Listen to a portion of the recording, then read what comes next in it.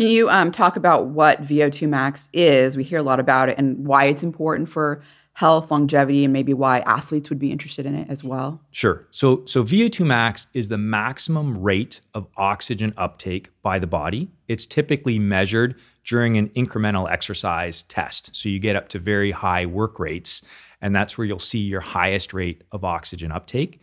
It's determined by many physiological factors and processes, but it reflects the peak integrated capacity of the cardiovascular, the respiratory, the blood, the skeletal muscle system to take up and utilize oxygen. It's clearly important for athletes. It sort of sets the ceiling. You know, and a challenge for athletes in many events is how close to the ceiling can you work for a defined period of time? And so, you know, the higher the oxygen uptake, the better. It's also the, the, the, the clinical correlate of VO2 max is cardiorespiratory fitness. So VO2 max is the best objective measure of cardiorespiratory fitness. And why fitness is so important, epidemiological studies show having a higher cardiorespiratory fitness is associated with a reduction in all cause mortality, dying from all causes, as well as developing many different chronic diseases, cardiovascular disease, type 2 diabetes. So, bottom line is having a higher fitness is better. It protects you, it reduces your risk of dying and develop diseases. And the best way to measure that is through a VO2 max test. So you mentioned these these epidemiological studies, these observational studies that are looking at the correlation between higher VO2 max and let's say all-cause mortality. There's a really I think important paper that was published in JAMA in 2018 that showed there was an inverse relationship between um, VO2 max and all cause mortality with no apparent upper limit. And the elite performing athletes or the elite, elite performers had a 80% reduction in all cause mortality compared to the lowest performers with their VO2 max. Um, so, my question for you is do you think someone who is doing, let's say, you know, again, doing the high intensity interval training um, mostly and 20, 25 minutes, three or four times a week. Um, do you think they can be one of those elite? Is that like an, what you would think would be an elite performer in terms of their VO2 max, or do you have to be an athlete?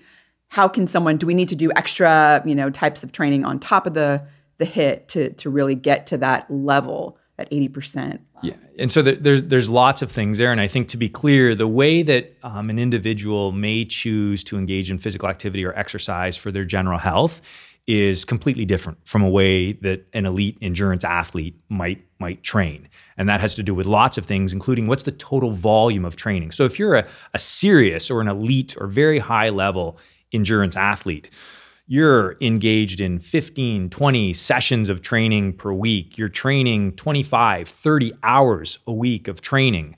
And the best evidence, uh, you know, gleaned, that's, there's some scientific evidence, largely, um, you know, a, a opinion from high level coaches and athletes is about an 80 20 split there is sort of the ideal mix or ratio to optimize endurance performance. So, about 80% low to moderate intensity type training and 20% high intensity training, much of it including um, interval training.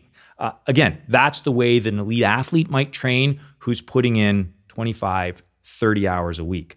I think that ratio can change if we're talking about someone who's engaging in one to two or three to four hours a week of physical activity, and they're looking to optimize how to structure that type of training fit within their regular lives. And I think there that ratio can change fairly substantially. Uh, and, and you can incorporate, I, I would submit that engaging in more vigorous intensity type exercise, if you're only doing one, two, three hours a week, may potentiate or give you a further boost in in fitness.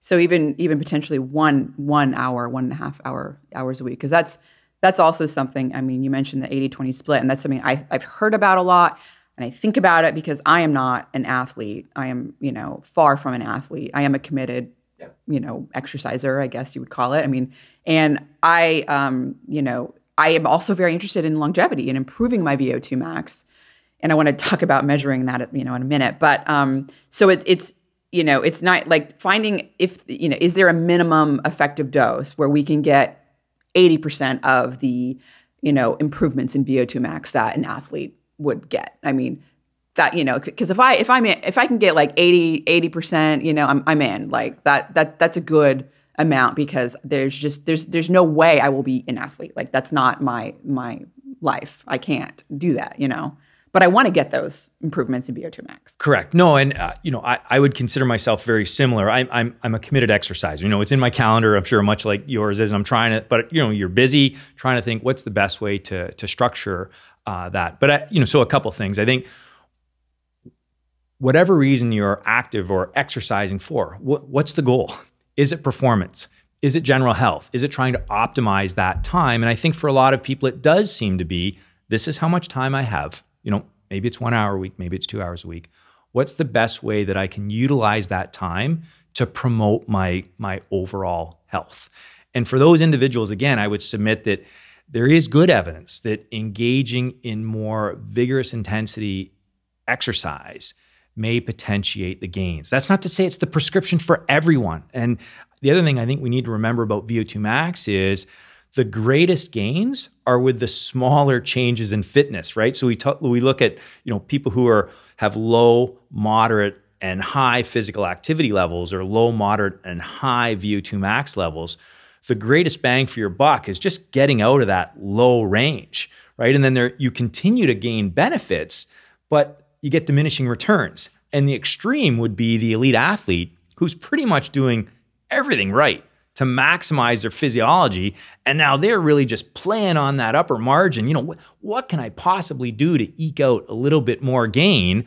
That the way that way of thinking and training is not necessarily the way that average everyday people, even serious committed exercisers who are primarily interested in health, need to think. Right. Like Stu, I like Stu's analogy of like squeezing the wet towel exactly. and like getting the last drops out. Um, you know, you know that that's something that you know maybe if I was more of an elite athlete that I would be interested in doing. But right now I'm like, how can I get to that? You know, you know where I'm I'm at least 80 percent of getting that VO2 max. You know, maybe maybe getting all of it if I could. Like I do going going hard and getting it.